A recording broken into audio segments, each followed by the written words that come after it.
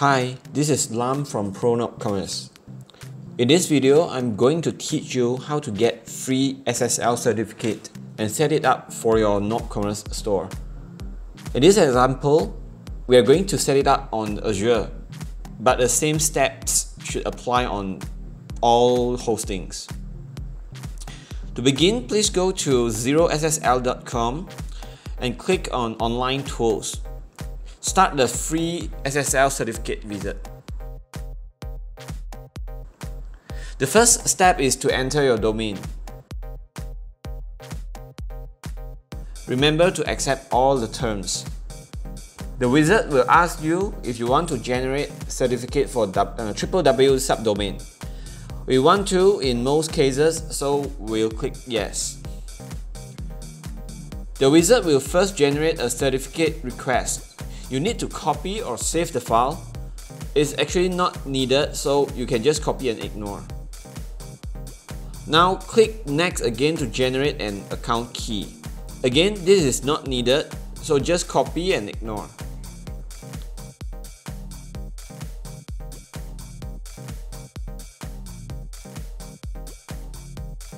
Click next again.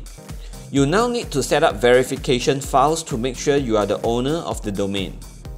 As per instruction, you need to create two files with specific file name and file content and put it at a specified folder of your domain. Note that the files do not have any file extension such as .txt, which can cause some problems for ASP.NET MVC application like NopCommerce. We'll touch on this point later.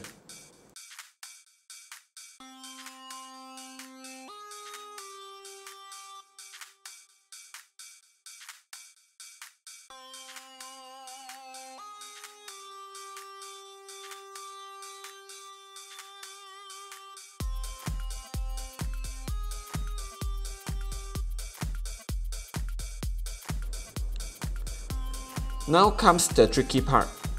To make MVC serve static content that does not have a file extension, we need to make use of web.config to do some kind of mapping. There's a link to download this file in the description. So download the file and paste it in the same folder. Try accessing the files to make sure they are all good.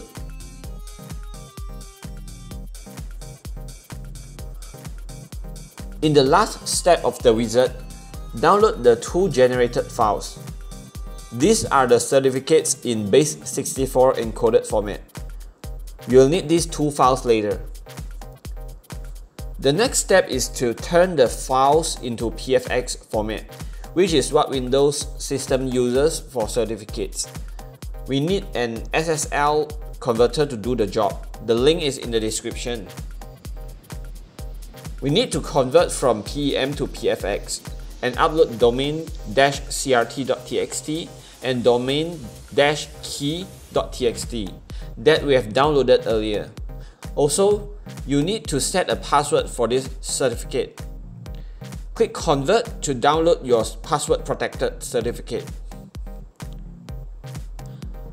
Now head over to Azure and upload the certificate Enter the exact password that you have entered in last step.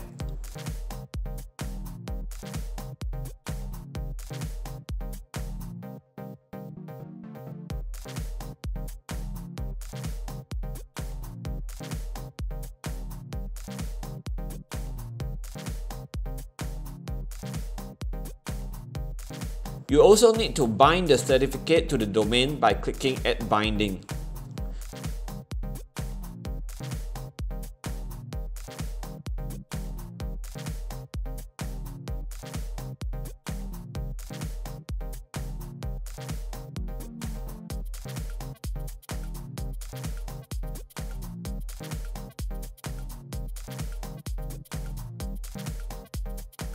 Refresh the page to make sure bindings are applied successfully.